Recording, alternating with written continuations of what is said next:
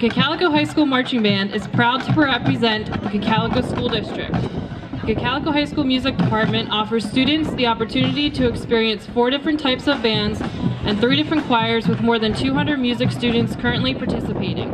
The 86-member marching band is comprised of students from grades 8 through 12.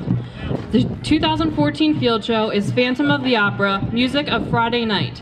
Music selections include Phantom of the Opera, Wishing You Were Somehow Here Again, Masquerade, and Music of the Night.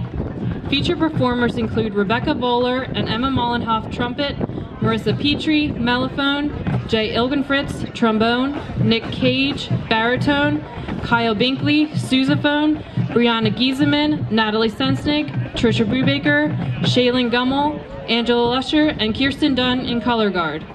Marching band student section leaders are Ethan Charles, flute, Rachel Hibbert, clarinet, Emily Gerber, alto saxophone, Gloria Barno, tenor saxophone, Rebecca Voller, trumpet, Marissa Petrie, mellophone, Jay Ilgenfritz, trombone, Nick Cage, baritone, Kyle Binkley, tuba, Scott Hummel, battery percussion, Emily Case, sideline percussion, and Natalie Sensnick and Trisha Brubaker, color guard. Emily Gehman is the student conductor, Scott Hummel is the per pit percussion arranger.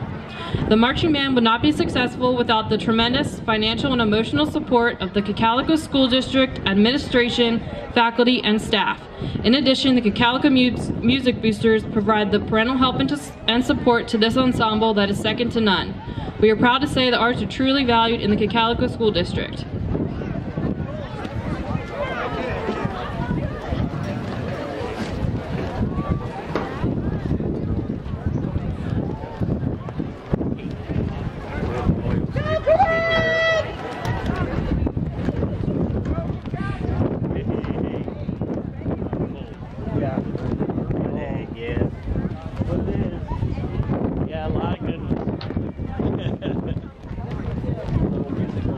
Please join me in welcoming our student conductor, Emily Gehman, and the Cocalico High School Marching Band.